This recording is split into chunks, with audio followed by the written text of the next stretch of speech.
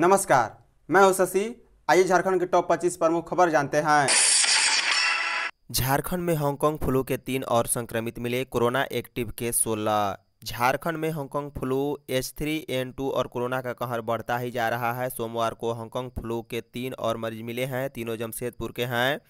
सोमवार को कोरोना के भी पाँच संक्रमित मिले हैं, इसमें चार जमशेदपुर के हैं, वहीं देवघर में भी एक संक्रमित मिला है। बता दें, राज्य में कोरोना के एक्टिव मरीजों की संख्या अब 16 पर पहुँच गई है। करीब 110 दिन बाद कोरोना के एक्टिव मरीजों की संख्या दहाई पर पहुँची है। जमशेदपुर से मिली जानकारी के अनुसार हांगकांग फ्लू के नए संक्रमित में एक बुज़ुर्ग और सात से आठ साल के दो बच्चे शामिल हैं। तीनों का इलाज टीएमएच में चल रहा है। Civil surgeon doctor Jujhar Manjhi का कहना है कि मरीजों पर नज़र रखी जा रही है।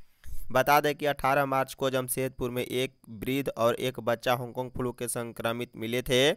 इसी बीच हांगकांग फ्लू व कोरोना को देख सोमवार को राष्ट्रीय स्वास्थ्य मिशन के अभियान निदेशक ने राज्य के सभी निजी अस्पताल एवं जाँच घर के नोडल अफसरों को इन्फ्लुएंजा ए की जाँच अघतन रिपोर्ट रोज उपलब्ध कराने का निर्देश दिया है।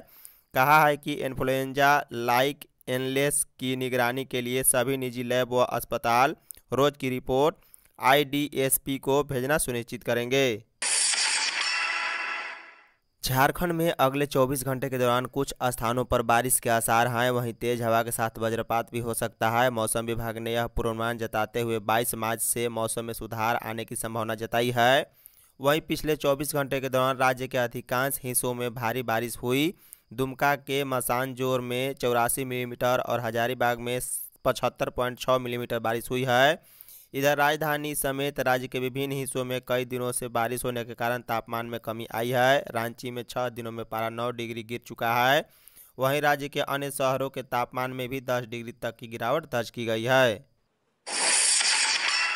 झारखंड के 80 उत्कृष्ट विद्यालयों में सीबीएसई की तर्ज पर मिलने लगी quality education. CM Hemant Soren ने कहा है कि झारखंड के इतिहास में पहली बार यहाँ की शिक्षा व्यवस्था में सुधार को लेकर ऐसा आयोजन हुआ है। हमारी सोच है कि प्रतिस्पर्धा के इस युग में हमारे सरकारी विद्यालयों के बच्चे, निजी विद्यालयों या बड़े शहरों के विद्यालयों के बच्चों से किसी भी क्षेत्र में कम न रहें।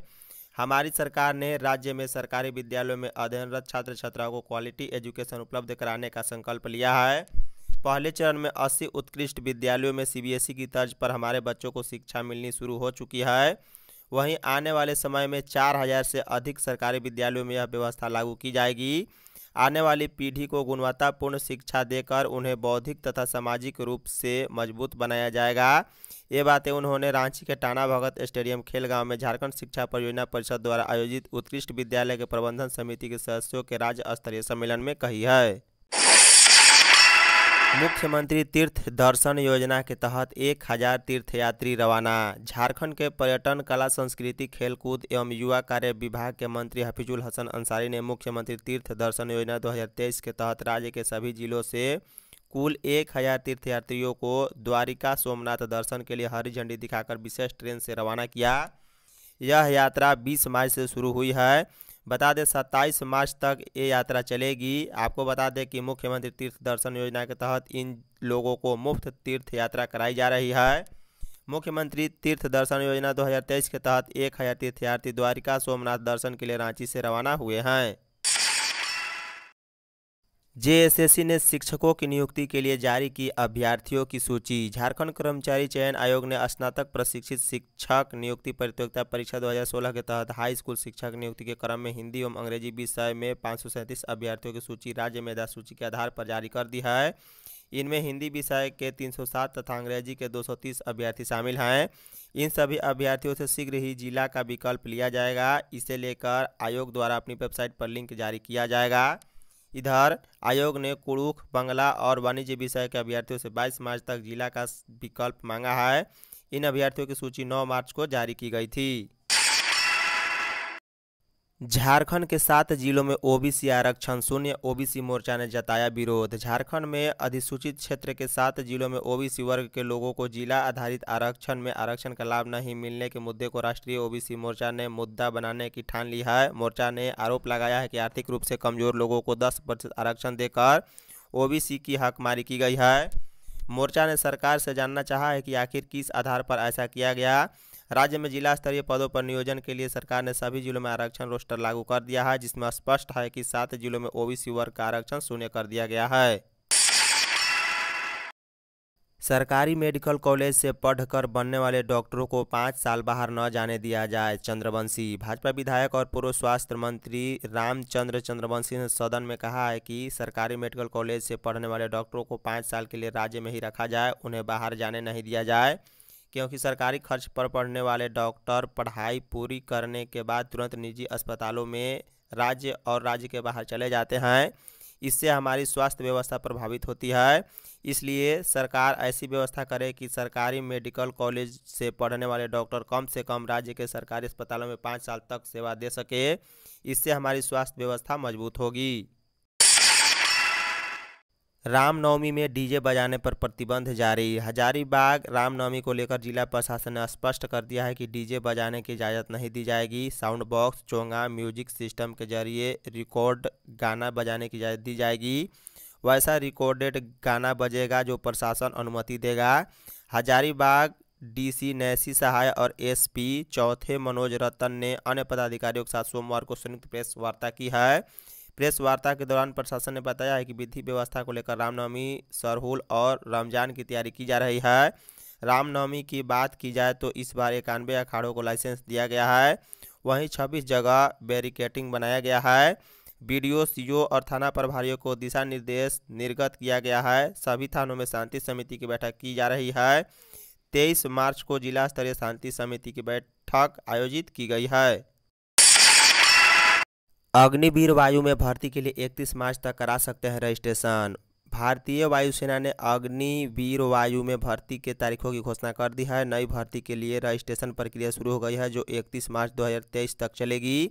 भर्ती के लिए ऑनलाइन परीक्षा का आयोजन 20 मई 2023 से शुरू होगा। भर्ती से संबंधित नोटिफिकेशन आधिकारिक वेबसाइट पर रिलीज़ किया गया है। यह जानकारी सोमवार 20 मार्च को जिला सूचना व जनसंपर्क विभाग ने दी है। बताया गया है कि 26 दिसंबर 2002 से 26 जून 2006 के बीच दोनों तिथियों को लेकर जन्मे उम्मीदवार भारतीय वायुसेना के अग्निवीर वायु भर्ती दो बाई दो के लिए आवेदन कर सकते हैं। पहले उन्हें 31 मार्च 2023 तक वेबसाइट पर रजिस्ट्रेशन कराना होगा। खाली ज़मीन पर पेड़ लगाइए, सरकार देगी पैसा। झारखंड में अपनी खाली ज़मीन पर पेड़ लगाने पर सरकार पैसा देगी। दरअसल मुख्यमंत्री जन वन योजना के तहत लोगों को अपने आँगन में पेड़ लगाने पर सरकार पैसे देगी। सरकार की इस योजना के मुताबिक जिन लोगों के पास मकान के आगे या पीछे 50 डिसमिल से ज़्यादा ज़मीन है, वो इसका लाभ ले सकते हैं। मुख्यमंत्री जन वन योजना के तहत सरकार खुद लोगों की ज़मीन पर पेड़ लगाएगी, रोपे गए पेड़ के देखभाल की ज़िम्मेदारी भी सरकार की होगी। जिसकी ज़मीन होगी, उतना उसको पैसा मिलेगा। मिट्टी की जाँच की जाएगी, मिट्टी की जैसी गुणवत्ता होगी, वैसा ही पेड़ लगेगा। पौधे की लागत का पचहत्तर फ़ीसदी सरकार देगी। जब तक योजना चलेगी, प्रत्येक वर्ष लाभों को पैसा मिलेगी।